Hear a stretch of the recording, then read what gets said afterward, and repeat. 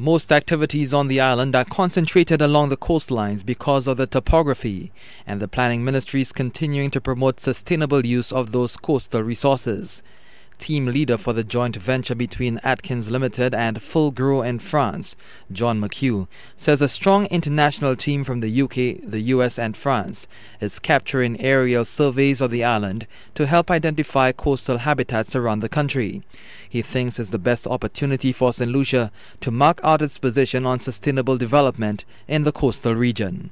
For the first time in the southern part of St. Lucia, we're going to use this information to come with a very clear outcome which needs to provide the assistance for land use planning to better identify the health and the location of coastal habitats around St Lucia. From there, we'll be able to better provide some service on where appropriate land use, such as tourism or fisheries development, can or probably should be promoted.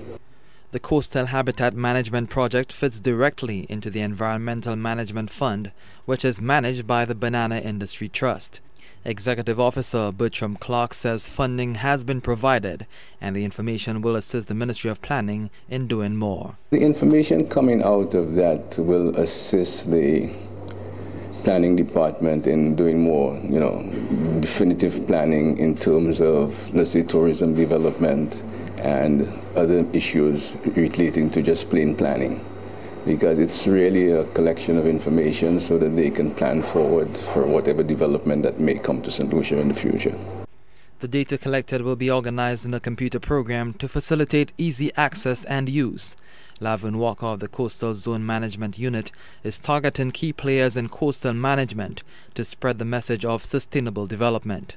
In order to ensure that we develop in a way that is sustainable, we need information to guide us with our development. So, as a result of that, it was necessary for us to undertake this um, project so that we can get baseline data on the health or the status of a lot of our existing resources. And as a result of that, when we are looking at how to move forward in those areas, we can determine the impacts of certain type of developments on, on those resources or on these habitats. The international consultants are encouraging government to engage with them and with local stakeholders to arrive at new baseline information on coastal habitats. The 10 month project is halfway through, and the consultants are looking to complete the ground truthing in April and carry out training with key players and submit the final maps and reports by September 2009. Clinton Reynolds, HTS News, Channel 4.